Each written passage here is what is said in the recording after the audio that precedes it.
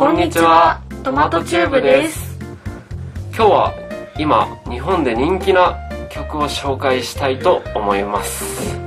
今日紹介するのはアイドルです。これは yoasobi さんの曲ですね。これは yoasobi さんが今一番最初に最近出した曲かな？そうですね。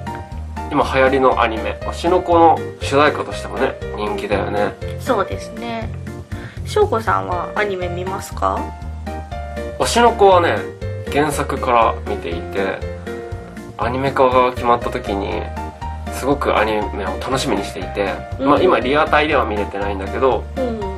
サブスクはい。で必ず見てます。あ。なっちゃんはどうですか？私もサブスクでアマプラで見てます。追いかけてます。面白い。の内容も面白いよね。面白いですね最初の話90分ありましたよね確か。そう最初30分じゃなかったからちょっと見るのがね映画レベルで。しんどかった部分もあった人もいるのではないかな。なかなかね1話目から衝撃的な展開がねありましたね。ありましたね。でも絵が可愛い。あそう絵が本当に綺麗で見ててテンション上がりますね。そう飽きないよね。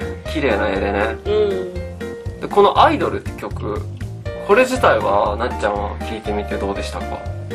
そうですね。最初聞いてみてすごい難しい曲だなって思ったんですけど、うんなんか中毒性があって聴けば聴くほどハマっていく感じがしました。そうそうなんだよね。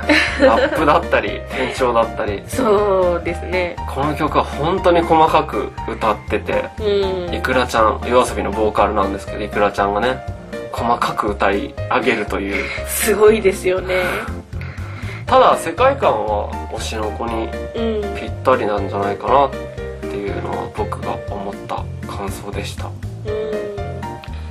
ん。なんか TikTok ライブでいくらちゃんが歌ってるのを見てあ本当にこの曲生で歌えるんだって感動しました。そうだね。あれは生歌なのかと思うくらいね。えいわゆる口から音源だったよね。そう口から音源が本当にすごかったですね。